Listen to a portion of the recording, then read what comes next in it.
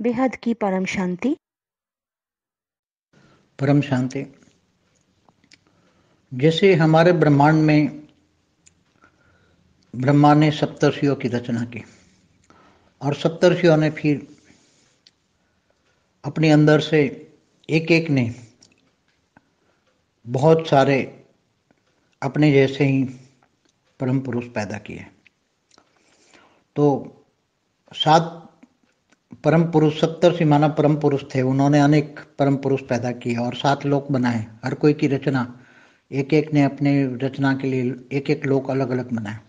फिर सबने अपने अंदर से परम प्रकृति निकाली। फिर बाद में उनकी रचना ने रचना की, रचना ने रचना की रचना की, रचना होती गई और गिर कर वो नीचे आते गए और देवता बन गए और तीन तत्वों में आए। तीन तत्वों से भी मनुष्य बन गए।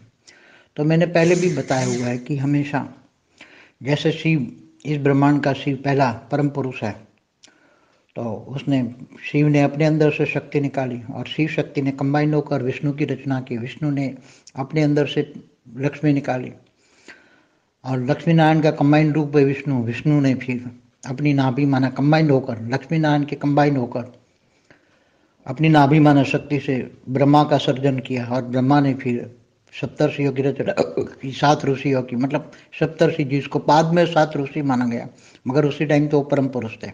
ज्ञान की भाषा में मैं उसको परम पुरुष कहता है। ऋषि माना जो परम पुरुष की एक स्टेज होता है, जो उसका शरीर दिव्य शरीर होता है, उसको ऋषि कहेंगे। तो ये बहुत गहन बातें हैं शुरू शुरू की, बाद में तो सभी जैसे देवी देवता हो गए तो देवता भी अपना एक बॉडी में, आकारी बॉडी में से एक सेल डाल के मनुष्य का एक रूप धारण करके वहाँ अपना अवतार लेता था। ऐसे देवियाँ भी अवतार लेती थी। देवती देवियाँ भी अपने बॉडी में से एक सेल डाल के, या आत्मा से एक पावर डाल के अवतार लेती थी। तो अनेक मतलब धरती पर मनुष्य बनते गए बनते गए बनते गए। तो आत्माओं की शक्तियाँ डाउन होती गई। ऐसी तरह सृष्टि में आत्माओं बहुत बढ़ती गई बढ़ती गई, चाहे साकारी लोक हो, चाहे आकारी लोक हो, चाहे निराकार। निराकार में तो एक ही, बाकी तो ऊपर में जा ही नहीं सकती। निराकारी दुनिया में तो ये आत्माएँ जो नीचे देवी देवताओं की रचना की रचना है, वो तो परमधाम में जा ही नहीं सकती, क्योंकि उसमें तो इतनी कैपेसिटी नहीं है कि ऊपर जाने की। वो तो जैसे ज़्यादा से ज़्यादा ये ब्रह्मापुरी तक जा पाएगी या ज़्यादा से ज़्यादा विष्णुपुरी तक। इससे ज़्यादा, क्योंकि विष्णुपुरी में परम तत्वों की मात्रा फिफ्टी परसेंट है। तो जैसे ऐसी आत्माएँ विष्णुपुरी में जाती का वहाँ ही डाइल्यूट हो जाएगी आत्माएँ। इसलिए हाई क्वालिटी आत्मा नहीं है जो नीचे एकदम, जिनको हम हमेशा कहते हैं कीड़े मकोड़े जैसी आत्माएँ। क्योंकि इस ब्रह्मांड का शिव भी एक कला का पावर वाला था, और अंश मात्र पावर से ही उसने अपना आकारी रूप बनाया, समझो। हर कोई निराकारी शिव आकारी शिव में पाँच परसेंट से लेकर पच्चीस परसेंट पावर ट्रांसफ़र करता है शुरू शुरू में सर्जन करते वक्त। फिर बाद में धीरे धीरे वो आकारी शिव भी निराकार को याद करके पावर ले लेता है। और फिर शिव में से पावर शक्ति में ट्रांसफ़र होता है शिव शक्ति से फिर विष्णु को ट्रांसफ़र होता है। और विष्णु से फिर ब्रह्मा में और ऐसी तरह देवताओं में ट्रांसफ़र होता रहता है, ऊपर के लोगों में। तो आत्मा फिर जन्म लेते लेते लेते कितना कितनी क्वालिटी की? पॉइंट ज़ीरो ज़ीरो वन कला की भी नहीं रहती तो ऐसी पॉइंट ज़ीरो ज़ीरो वन कला की आत्माएँ मच्छर जैसी होगी, कीड़े मकोड़े जैसी होगी। और वो भी फिर ऊपर के लोगों में ज़्यादा नहीं जा सकती, क्योंकि उसकी आत्मा की क्वालिटी हाई नहीं है। परम प्रकाश, अगर परम धाम में जाना है तो वो परम प्रकाश की कम से कम पॉइंट ट्वेंटी फाइव परसेंट भी परम लाइट की क्वालिटी है तो जा पाएगी। इससे ज़्यादा नहीं होगी। जाएगी तो फिर वहाँ परम धाम में ऑटोमेटिक मुक्त हो जाएगी। वायुमंडल में डाइल्यूट हो जाएगी। कई लोग नास्तिक कहते हैं, आत्मा डाइल्यूट हो जाए, वायुमंडल में डाइल्यूट हो जाती है। तो इस वायुमंडल में नहीं डायल्यूट ब्रह्मापुरी तक नहीं डाइल्यूट हो जाएगी। हल्की क्वालिटी की आत्माएँ विष्णु लोक में डाइल्यूट हो जाएगी, जहाँ परम तत्वों की क्वालिटी फिफ्टी परसेंट है। शिवपुरी में जाएगी तो शिवपुरी में हंड्रेड परसेंट परम तत्व है तो वहाँ तो डाइल्यूट हो ही जाएगी। और वहाँ नहीं बचती, निराकार स्टेज बनती तो परम धाम में जाकर डाइल्यूट हो जाएगी। परम धाम में तो वो आत्मा जीवन मुक्त हो, वो रह सकती है अपनी अपनी स्टेज बना सकती हैं वो जिनकी एक क्लास से ज़्यादा पार वाली आत्मा है। तो ही वो परम धाम में अपना अस्तित्व टिका पाती है। नहीं तो एक कला की जो ग्रेविटी से कम वाली आत्मा है वो वहाँ शिव की निराकार स्टेज वाली आत्माओं में वहाँ परम धाम में धीरे धीरे खींच खींच के उसमें समा जाती है। इसलिए कहते हैं ज्योत में ज्योत समा गई मतलब आत्मा परमात्मा में समा गए कहते हैं तो उसकी मुक्ति हो गई तो मुक्ति हो जाती है परम शांति పరం శాంతి బేహద్ బాపు ఈ బ్రహ్మాండంలోని రహస్యాలన్నింటినీ ఒక్కో దాన్ని ఓపెన్ చేస్తూ చేస్తూ చెప్తున్నారు ఈ యొక్క హిందీ వీడియోలో సప్త ఋషులు ఎవరు త్రిదేవుల యొక్క రచన ఎలా జరిగింది ఈ భూలోకం యొక్క సత్యం ఏంటి అనేటువంటి విషయాన్ని చెప్తూ ఉన్నారు. మీరు ఇంతవరకు హిందీ వీడియో విన్నారు. దానికి తెలుగు అనువాదం. బేహద్ పరం మహాశాంతి. ఏ విధంగా మన బ్రహ్మాండంలో బ్రహ్మ ఫస్ట్ సప్త ఋషుల్ని రచన చేశారు. ఈ సప్త ఋషుల్ని వారి లోపల నుండి ఒక్కొక్క శక్తి స్వరూపాన్ని స్త్రీ స్వరూపాన్ని ప్రకృతిని తీయటం జరిగింది. ఈ సప్త ఋషుల్నే పరం పురుషులు అని అంటూ ఉన్నాను. వీళ్ళు సాధారణమైనటువంటి ఆత్మలు కాదు. విశేషమైనటువంటి పవర్ఫుల్ ఆత్మలు.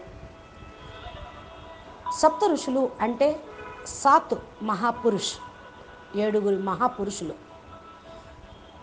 వారికి పరం పురుష్ అనే టైటిలే సరైనది. బ్రహ్మ ద్వారా రచించబడిన వాళ్ళు వీరు. వీరు ఏడు లోకాలను తయారు చేశారు. వారి యొక్క రచన వారి వారి లోకంలో ఉంటూ ఉండేది.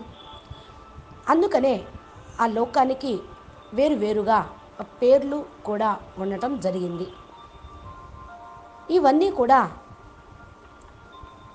వారి యొక్క స్థితి రచన అనుసారంగా జరుగుతూ ఉన్నాయి. ఈ సప్త ఋషులు తమ లోపల నుండి పరం ప్రకృతులను తీశారు. తరువాత వారు రచన చేసుకుంటూ చేసుకుంటూ వెళ్ళిపోయారు. ఇలా రచన ఎక్కువయ్యే కొద్దీ వారు పవర్ లాస్ అయ్యి డౌన్ఫాల్ అవ్వటం అనేది జరిగింది. ఈ సప్త ఋషులు పరం పురుషులే దేవతలుగా అయిపోయారు. మూడు తత్వాల్లోకి వచ్చేశారు. మూడు తత్వాల నుండి మనుషులుగా అయిపోయారు. ఈ విషయం నేను ముందే కొన్ని వీడియోలో కూడా చెప్పాను అంటున్నారు బాబూజీ. శివుడు ఈ బ్రహ్మాండాన్ని రచన చేసినప్పుడు పరం పురుషుల్ని రచన చేశారు.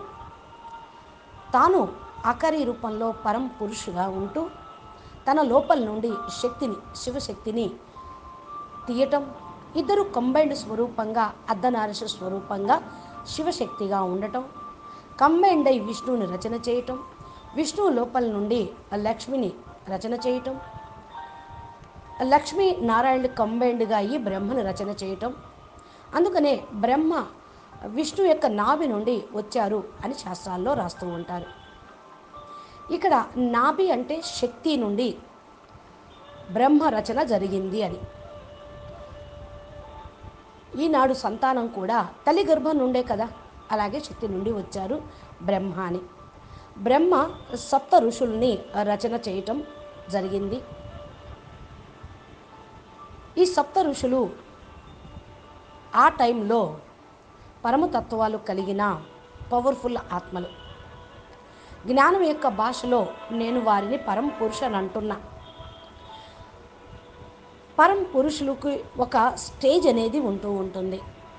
వారి శరీరం దివ్య శరీరంగా ఉంటుంది.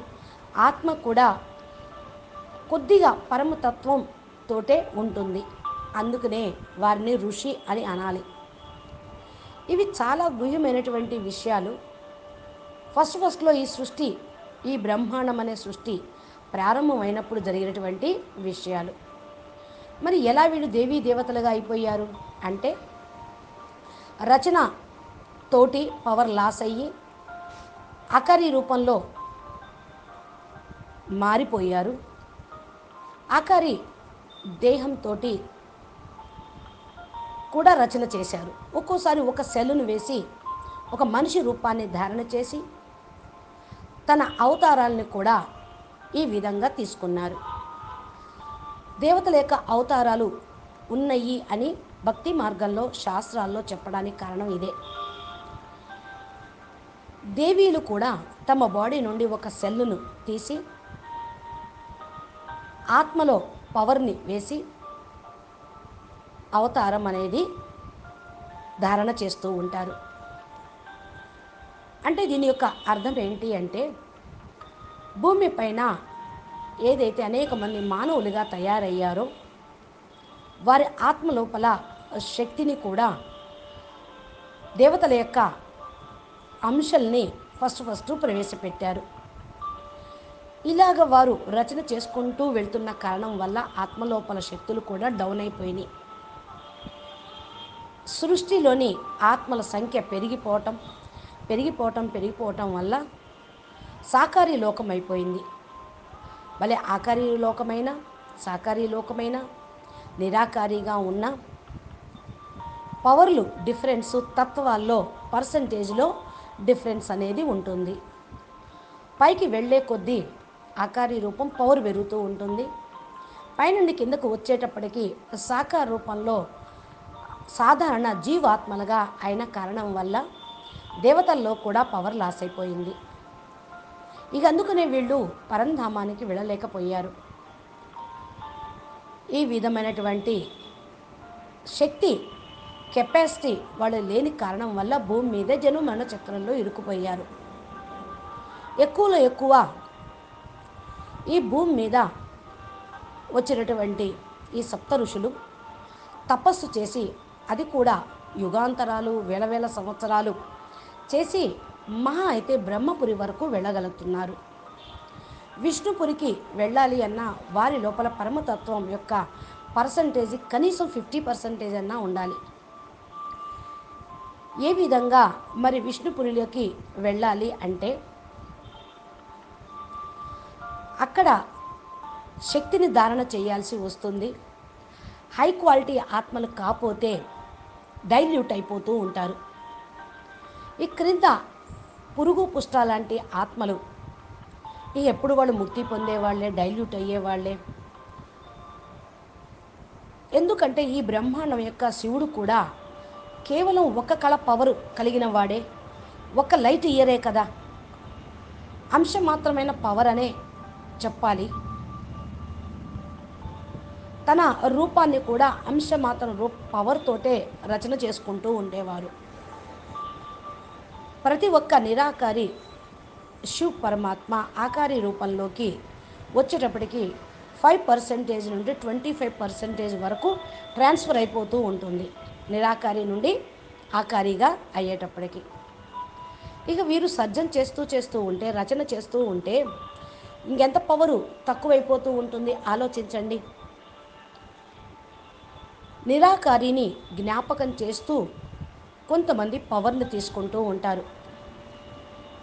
ఈ నిరాకారి లోపల పవరు వీరికి ట్రాన్స్ఫర్ అవుతూ ఉంటుంది. ఋషులు మునులు నిర్గుణోపాసన చేస్తూ శివలింగాల్ని జ్యోతిర్లింగాల్ని జ్ఞాపం చేస్తూ ఉంటే వారికి ఈ శివుడి లోపల నుండి పవర్ ట్రాన్స్ఫర్ అవుతుంది.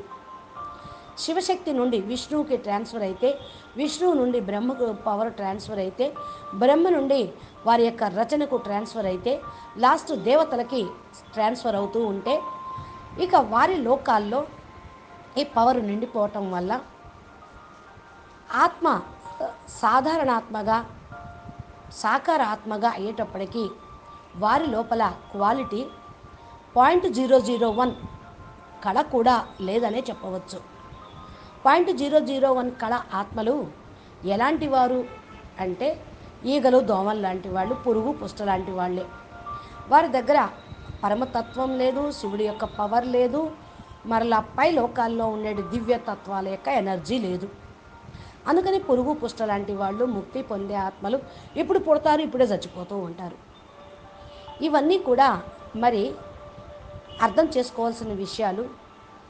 ఇక్- మానవులు ఇలాంటి పవర్ ఉన్న వాళ్ళు పై లోకాలకి ఏం వెళ్ళగలుగుతారు? వారి ఆత్మలో క్వాలిటీ హయ్యర్ క్వాలిటీ అనేది ఉండనే ఉండదు. పరం ప్రకాశం పరంధామంలోకి తీసుకొని వెళ్తుంది. అసలు పరమతత్వమే లేదు దివ్యతత్వమే లేదు ఇక పరం ప్రకాశం మాట ఎక్కడిది? ఇక వీళ్ళు పరంధామానికి ఎలా వెళ్తారు? పరం ప్రకాశం తక్కువలో తక్కువ కనీసం పాయింట్ టూ ఫైవ్ ఉన్నా కొద్దిగా క్వాలిటీ అన్నట్టే. పరం లైట్ యొక్క క్వాలిటీ ఉంటే వెళ్ళగలుగుతూ ఉంటారు. ఎక్కువగా మరి పరం లైట్ గురించి ఎవరికీ తెలియదు ఈ బ్రహ్మాండంలో. పరమతత్వం అంటే కూడా అర్థం కాదు. ఈ యొక్క ముక్ బలహీన ఆత్మలు కీడే మక్కోడే పురుగు పుష్ట లాంటి ఆత్మలు పూర్తిగా డైల్యూట్ అయిపోతారు ఆటోమేటిక్గానే. పరంధామంలో ముక్తి పొందుతారు. లేకపోతే వాయుమండలంలోనే డైల్యూట్ అయిపోతారు. చాలామంది నాస్తికులు అంటూ ఉంటారు కదా ఆత్మ వాయుమండలంలో డైల్యూట్ అయిపోతుంది అని. అంటే వాళ్ళకి ఆత్మ గురించి పరమాత్మ గురించి తెలియనే తెలియదు నాస్తికులు కాబట్టి. వాళ్ళు ఒప్పుకొనే ఒప్పుకోరు అందుకే. ఈ జీవుడు ఈ ప్రాణము అనేది డైల్యూట్ అయిపోతుంది వాయుతత్వంలో వాయుమండలంలో అని ప్రచారం చేస్తూ ఉంటారు. ఇది వాయుమండలంలో డైల్యూట్ కాదు. అట్లా అంటే బ్రహ్మపురి వరకు కూడా డైల్యూట్ కాదు. చాలా తక్కువ క్వాలిటీ ఉన్నటువంటి ఆత్మలు విష్ణులోకంలో డైల్యూట్ అయిపోతారు. పరమతత్వం యొక్క క్వాలిటీ ఫిఫ్టీ పర్సెంటేజ్ ఉన్న కారణం వల్ల డైల్యూట్ అయిపోతారు. శివపురిలోకి వెళ్ళటానికి హండ్రెడ్ పర్సెంట్ పరమతత్వం కావాలి. బ్రహ్మపురి వరకు చేరుకొని విష్ణుపురి వెళ్ళేటప్పటికే డైల్యూట్ అయిపోతారని ముక్తి పొందుతారు. ఇక మిగలరిటువంటి వాళ్ళు. నిరాకారి స్టేజ్ని తయారు చేసుకున్న వాళ్ళు పరంధామానికి వెళ్తారు. ఒకవేళ వీళ్ళు ముక్తి పొందాలి అనే సాధన చేసినటువంటి వాళ్ళు పరంధామానికి వెళ్ళటంతో డైల్యూట్ అయిపోతూ ఉంటారు. పరంధామంలో ఉన్నటువంటి ఆత్మలు జీవన్ముక్తిని పొందరు.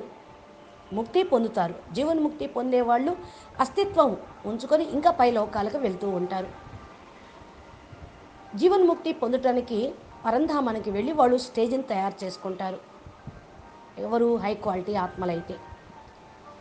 ఎవరికైతే ఒక కళ కంటే ఎక్కువ పవర్ఫుల్ ఆత్మలుగా ఉంటారో వారు పరంధామంలో వాళ్ళ అస్తిత్వాన్ని నిలుపుకొని నెమ్మది నెమ్మదిగా గ్రావిటేషన్ తగ్గించుకొని ఆత్మ పవర్ని పెంచుకొని అక్కడ శివుడు నిరాకారి స్టేజ్ని ధారణ చేసి పరంధామంలోనే నెమ్మది నెమ్మదిగా పవర్ని తీసుకొని పైకి అనగా గెలాక్సీలోకి యూనివర్సుల్లోకి వెళ్ళిపోతూ ఉంటారు.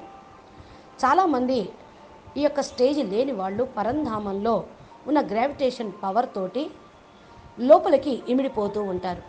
దీన్నే జ్యోతి జ్యోతిలోకి ఇమిడిపోవటం అని చెప్తారు. ముక్తి పొందటం అని కూడా అంటారు. పరంధామంలోకి వెళ్ళి ముక్తి పొందారు ఇమిడిపోయారు అని ప్రచారం శాస్త్రాల్లో కూడా దీని గురించే చెప్తూ ఉంటారు. బాపూజీ చెప్పినటువంటి ఈ యొక్క సప్త ఋషుల యొక్క రహస్యం మీకు అర్థమైందనుకుంటా? జ్ఞానం కోసం తప్పించే ఆత్మలకు ఈ వీడియోని షేర్ చేయండి. బాపూజీ దశరథ్ భాయ్ పటేల్ ఛానల్ని సబ్స్క్రైబ్ చేస్తే బాపూజీ చెప్పేటువంటి బ్రహ్మాండం యూనివర్సు మల్టీ యూనివర్సు బేహద్ కళల సృష్టి వరకు జ్ఞానం మొత్తం కూడా మీ దగ్గరికి చేరుతూ ఉంటుంది.